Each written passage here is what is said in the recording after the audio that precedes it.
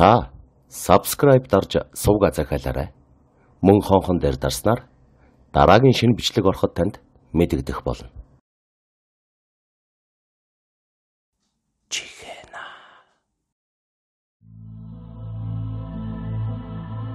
Онгод хөлөглөгч уран зөгнөлт адал явдалт зохиол эм бүгд бүтэн хувилбараар орлоо.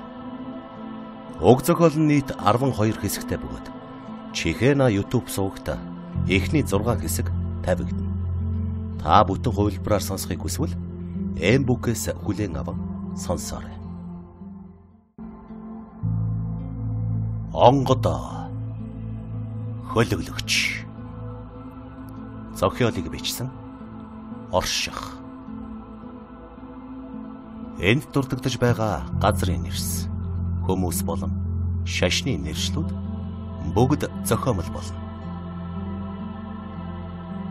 Хард орсон зүүдийг бэйжүүлэгч түнэр харанхуй.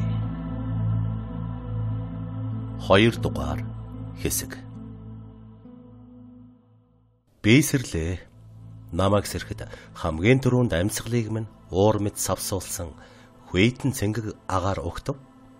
Шүнийн турш дулаахан хонуулсан мишокос өхөд нөв нүцгэн чихтэй майхнасаа гарan зогслоо. Өвлийн цаасанд хучигдж хүйтэнд дарлуулсан ч мөнхийн ногоонороо ургах гацуур модод ойн цэнгэг хүйтэн агаараар цээж дүрэн хідэнтэй амьсгалваа. 15 настай охин ой дунд ганц аархна нүв нүцгэн зогсох мэдээж эрүүл үзэгдэл биш л дээ. Гэхдээ ганц аархна эмч нь хэн намайг шоолно гэж шоолсныг нь тэр дор нь тамруун тонилгох болно. Даан чазаар энд миний уурыг хүргэх хинч байхгүй. Ийм болохоор л би ойд ганцаараа байх дуртай. Би бусадтай зөксөж чаддаггүй л дээ. Яагад гэвэл төв тэнгэр бөөгийн хэлсэн үнэн. Би тухайн мөчөд юу мэдэрч байна тэрийг ээл дагдаг. Зүгтмаар байвал зүгтж, алмаар байвал алдаг. За тэр ч яах вэ? Сайхан усан дорё. Ингээд би төмөр усны сав болон хувцас аваад нөв нүцгэн чихтэй ойролцоох гол руу алхлаа. Үнэхээр ойрхон байсан тул хэдхэн алхаад гол руу орж уг аал уйлдэв. Би хот цөөрөн газрын нялхарсан амтд шиг савн шампу митийн зүээс хэргэлдэггүй тул зүгээр л ойн дундуур урсдаг ариун бас хүйтэн гол усаар бие шавшлаа. Биеиг минь сайхан сэрүүцүүлж байна. Угаал уйлдэнгээ улсны тусгалд өөрийнхөө биеийг хальтхан ажиглалаа. 15 настай охины хөхөөгцөг гэхэд дажгүй харагдаж байна шүү. Бие минь харьцаа яг зөв хэмжээг олжээ. Угаал үйлдэж дууссан би сүүлийн 5 жилийн турш биеийг маань бусдын нүднээс халахалж байсан. Цорганц хувцс болох арьсан хүрм өмд гутлаа халаасанд нь байсан альчуураараа норгож тоосыг нь арчиж цэвэрлэв. 5 жилийн өмнө өвөө минь нас барч Тэнгэрийн холбооны тушаалыг даггаа болж тэднээс салснаас хойш товтон ойд амьдрахта. Энэ хувцснаас өөр юм огтхон ч өмсөөгүй. Чанартай эд болохоор хизээч мотохгүй. Нойтон алчуураар тоос тортхийг нарчхад л болоод явчихдаг болохоор өөр хувцс өмсөх шаардлага байгаагүй юм. Ингээд л болоо. Дулаан хувцсны шаардлагач байхгүй. Хэрвээ ямар нэг энгийн хүн над шиг өвлийн ойд нөв нүцгнэр усанд ордог байсан бол хэдхэн хоногийн дараа хатгаа аваад өгчихсэн байх биз. Гэвч хөгчөний онгодыг хідэнтэй биедээ оруулж шууд утгаараа хүн чон болж хувирсныхаа дараа бие маань өөрчлөгдсөн юм л т. Жишээ нь миний бие тун хурдан хүйтэн болон халуун орчинд дасан зөгцдөг болсон. Халуулцах эсвэл даарах мэдрэмжийг мэдрэхэ болоод удаж байна. Дараа нь төмөр савнд усаад үргэж аваад эгшиглэнт цуура химээх овцт хүчний чадвараа ашиглан шүгэлдлээ. Удсан ч үгүй ойн гүнээс нэгэн саарл чон давхсаар гарч ирээд хизээний тижээвэр амтан минь байсан мэт надад ирэхлэв. Би эгшиглэнт цуурайг ахин нэг ашиглаж надад идэх мах олж өгөөч хэмээн хэлэхэд чон чиргэн давхиад явсаар удалгүй. Нэгэн чандаг бариад ирсэнд би чонын толгоог нэгэнтээ илчгэд эгшиглэнт цуураагаараа ойроо буцаалаа. Энэ чон бол ойн залуухан савдаг бөгөөд миний эгшиглэнт цуураагийн чадвар нь энэ ойн савдаг мэтийн ямар ч хүмүүн бусын хүний хэлээр ярьдаггүй оюун ухаанд оршихуйтай ойлголцоход тусалдаг юм.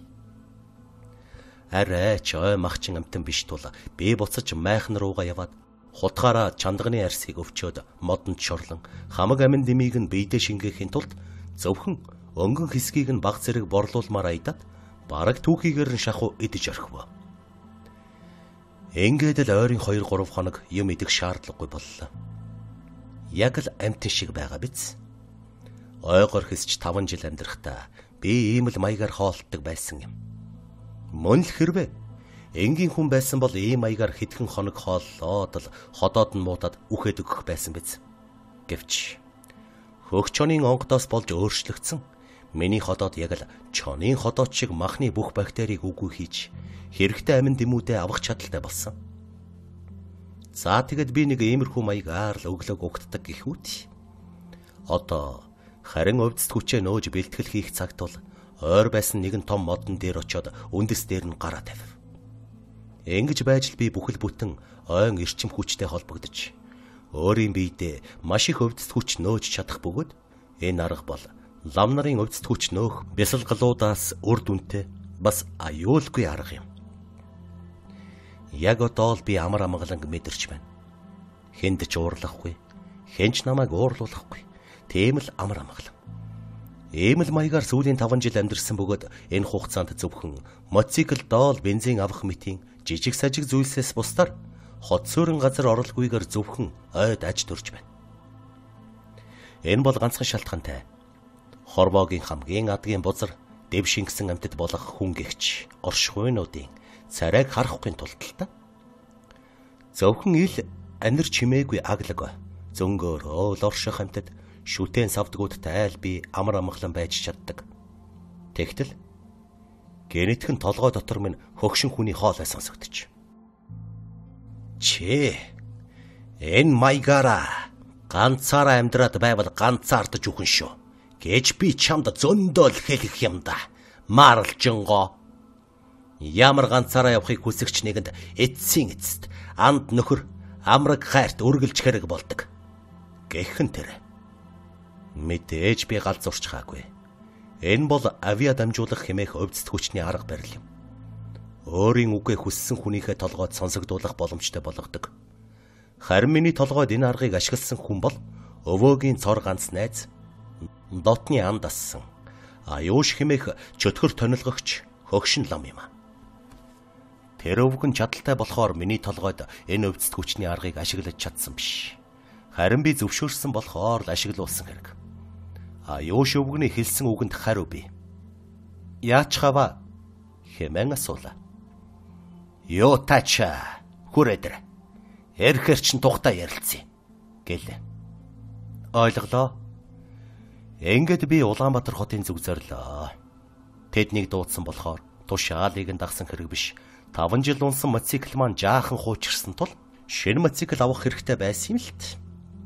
Ер нь илэгдсэн майхан хоёр ooч шинжлэх хэрэгтэй болсон. Эн тэр гээдэл бас бас зүйлс байсан тул далимд нь уулзчаад буцах санаатай байв.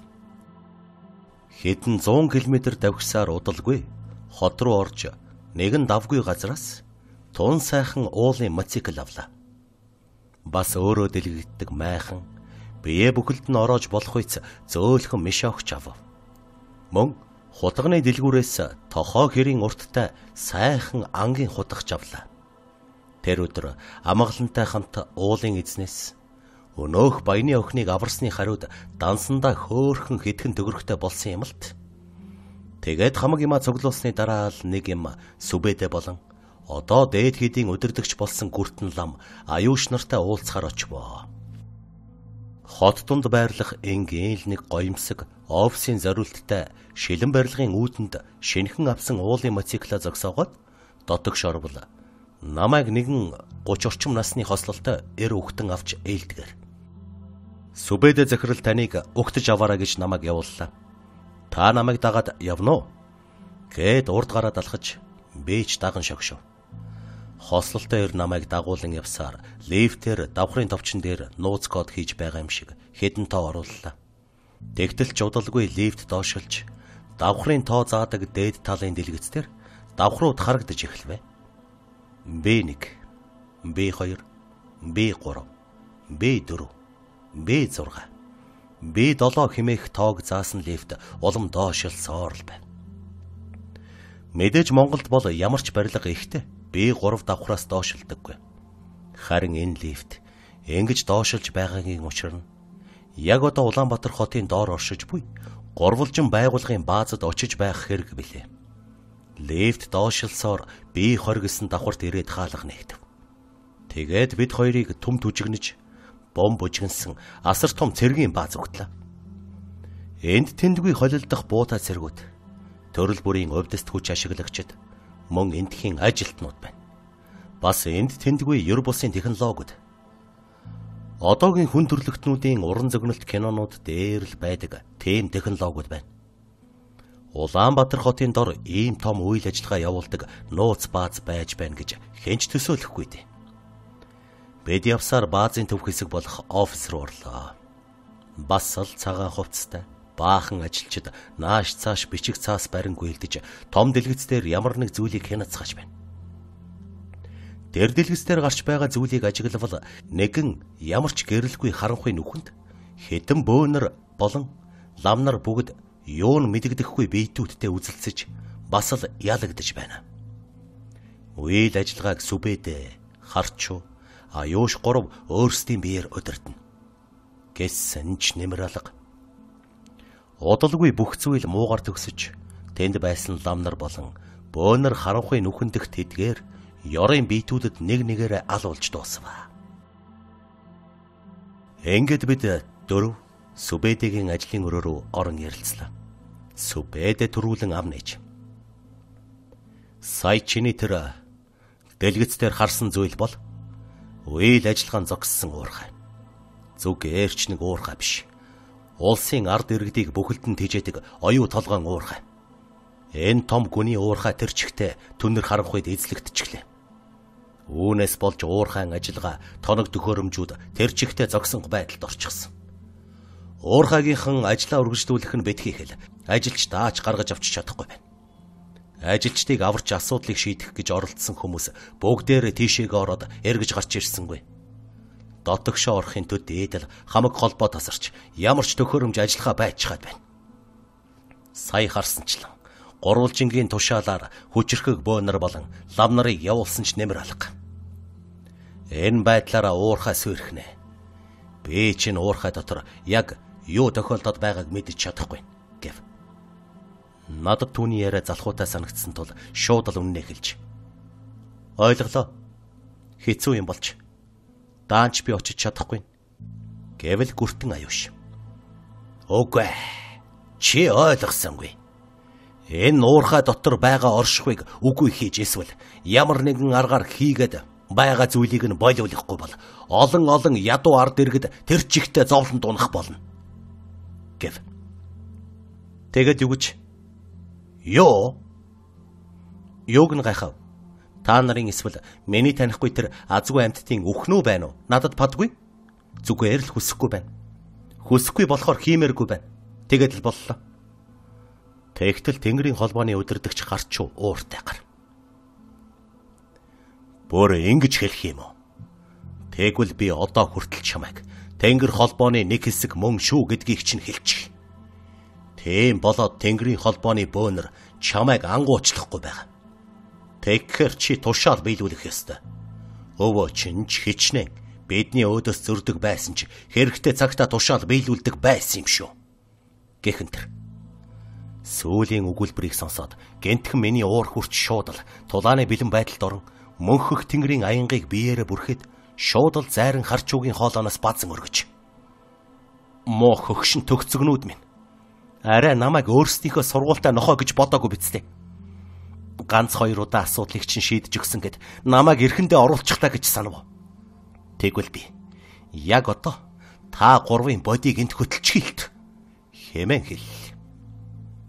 Тэнгэрийн холбооны өдөрдөгч гэд байгаа муу хөгшин төгцөг яаж ч чадахгүй сарвалзан тийчгэнэ.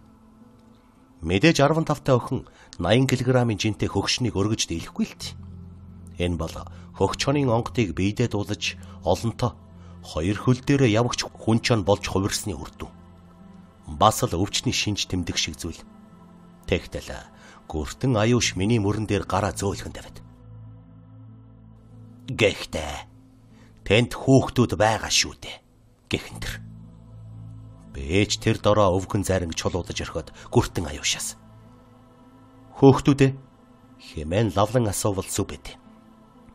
Жаахан хүүхдүүд 1300 метрийн гүнд ямар ч тог захилгаангүй түнэр харанхуй уурхад юу гэдэг нь мэдгэдэхгүй муу ёрын юмтай хамт гацсан гэв. Үүнийг сонссон миний дотор өөрийн ирэхгүй айдас төрч. Байж боломгүй юм. Тэр хүчрхэг лам бөө нар хүртэл юу ч хийж чадаагүй тэр түнэр харанхуйг үүсгэгч оршихын өөдөс жаахан хүүхдүүд юу хийж чадна гэж тэд үнэхээр амьд байгаа гэж юу? Гэвэл гүртэн лам аюуш. Яг тэр өдөр хүүхдүүдийг багшин гүнийн уурхайгаар хичээлийн холбогдолтой аялал хийлгэж таарсан. Этгэхгүй гэвэл мэрэгэн ээжийн онгодоосаа асуугаад үзэхгүй юу та. Бэ хүртэл тэр уурхад юу болж байгааг бэлгийн мэлмигээр харж чадахгүй байсан. Тэнд харанхуйгаас өөр юу ч байгаагүй. Миний ярьсан зүйл худлаа бол би чамайг дахиж зовоохгүй. Хорвоод марлжингоо гэж хүн байдгийг мартах болно болж байна. Худлаа хэлсэн бол дахиж тантай харьцахгүй шүү. Нэг ч гэсэн нойтон хамуунаас салъя та. Ийн хилээд би ташаанаасаа зүйлдтэй байсан хэц хингэргээ дэлдээд хингэргийн гол хэсэгт байсан цагаан үнэгний сахиусыг үзэсгэлэнт бүсгүй дүртэй мэрэгэн ээжийн сахиусаар солив. Энэ хингэрэгч гайхалтай шүү. Миний гурвалжингаас олж авсан ганц өөдтэй зүйл. Бөөнөр онгодоо дуудах үед маш удаан нарийн төвөгтэй зан үйл ёслолыг хийдэг бол Бэн механик тохиргоотой хэц хингэргийн ачаар тулаан дундч хэдхэн секундын дотор аль нэг онготын хүчээ дуудан ашиглаж чадна. Мэргэн ээжийн сахиусыг тааруулсны дараа хингэргээ хэдэнтэй нүдэх үед тунгодолгүй нэгэн дүрс хуйлран эргэлцээр биенээс нь мод димөчр навчис сургасан үзэсгэлэнт бүсгүй дүртэй хүчрхэг хий мах бодийн оршихуу гарч ирлээ. Тэгэд намайг харснаа нэмсэглэв. Йоо болоо вохин минь намайг дуудалгүй утсан байна шүү гэв. Энэ мэрэгэн ээж нэртэй үзэсгэлэнт эмэгтэй онгод бол миний хүчээ авч ихэлсний дөнгөж дараахан холбоо тогтоосон олон жилийн настай савдаг юм а. Надтай холбоо тогтоосон онгодуудаас хамгийн урт настай гэж хэлж болно. Хамгийн анх сүнсний ертөнцөөр аялуулагч цагаан үнэг маань надтай холбоо тогтоосон бол тэрний яг дараа нь л мэрэгэн ээж надтай холбоо тогтоож авралыг нь гуйсан үед урайлгахнаар тусалдаг болсон билээ. Гол нь асуулт даал зөв асуух хэрэгтэй. Учир нь мэрэгэн ээжийн онгод зөвхөн асуусан асуултанд л хариулдаг. Түүний далдыг харах хүч цаглашгүй ихэ. Б. Уучлаарай мэрэгэн ээжээ. Таныг биендээ хідэн удаа дуудсны авгаа хүчний тань нөлөөгөөр надад далдын мэлми суусан билээ. Тэр далдын мэлмигээр хэсэгтэй асуудлаа шийдэд болоод байлаа. Гэхдээ энэ удаад далдын мэлми маань тус болж чадахгүй нь бололтой. Оюу толгой нэрт уурхайн дотор яг юу болсныг харуулад өгөөч гэв. Мэргэн ээж инээ эмсэглээд. Ойлголоо охин минь. Химэн хилээд миний нүдэнд шингэн оров. Яг энэ мөчөөс миний нүд урдаа байгаагаас өөр зүйлсийг харж эхэллээ. Зүэрлвэл VR тоглоом шиг л. Би маань оффист байж байхад миний нүдэнд харагдаж буй үзэгдэл дээр эхлээд миний байгаа газар 360 градус харагдаж байснаа дээш хөөрч нүд гүйцхийн аргагүй хурдаар ниссээр нэг л мэтгэд өнөөх уурхайн гүн рүү орвоо. Жинхэнэ түнэр харанхуй. Ямар нэгэн барих бийгүй, үзэгдэх үзэгдэлгүй түнэр харанхуй. Ямар ч амьд оршихгүй тэнд алгаа. Гэвч мэрэгэн ээжийн авгаа хүчрэхэг далдын мэлми эргэн тойрноо сайтар ажиглавал үнэхээр зүрх алдмаар зүйлс харагдлаа. Хэзгааргүй мэт урт үргэлжлэх хонглуудын дунд өгтлүүд байж байна. Зарим нь ханналж суусан, зарим нь байгаа газараа унаад өгсөн ажилчдын болон асуудлыг шийдэх гэж тийш орсон лам бөөнрийн цогцснууд.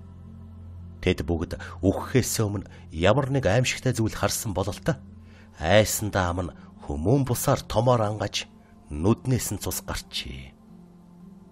Харсан зүйл маань намайг баггүй зарсхийлгэж.